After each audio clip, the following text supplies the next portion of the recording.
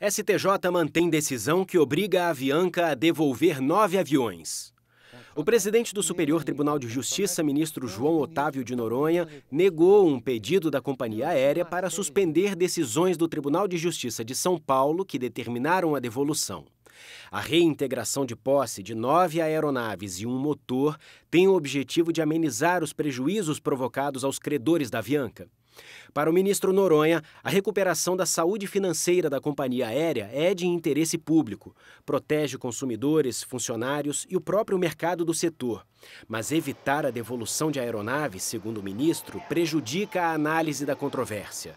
O presidente do STJ destacou que a questão deve ser resolvida nas instâncias ordinárias e em vias processuais próprias.